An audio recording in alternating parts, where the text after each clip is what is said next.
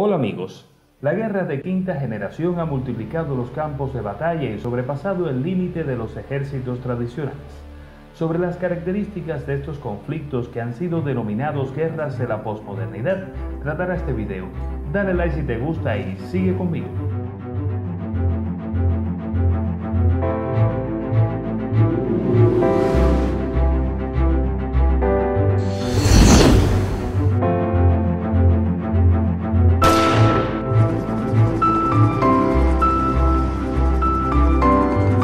Ya los estados no son los únicos implicados en combatir.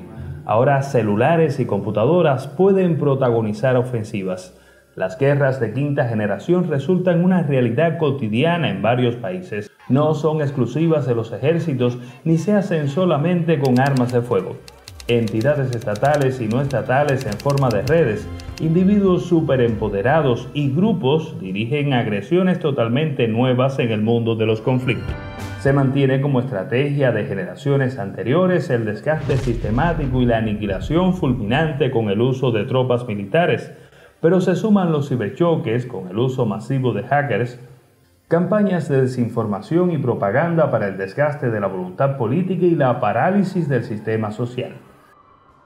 Las guerras de quinta generación, al no ser necesariamente entre dos estados, implican el uso de ataques terroristas, la estimulación de la delincuencia y guerra de desinformación. Todos usados de forma combinada para alcanzar los objetivos políticos a costo muy bajo si se compara con las campañas militares que se llegaban a cabo hasta la Segunda Guerra Mundial.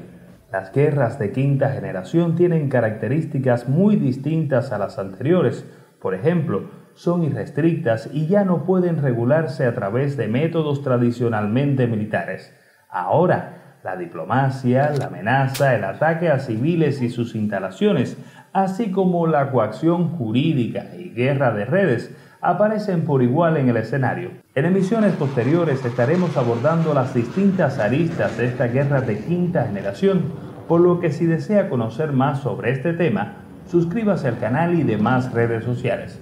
Ponga en los comentarios otros elementos que cree importantes de las generaciones de conflictos que no hayan sido puestas en este video y comparta para que todos puedan conocerlos. Un saludo y nos vemos nuevamente.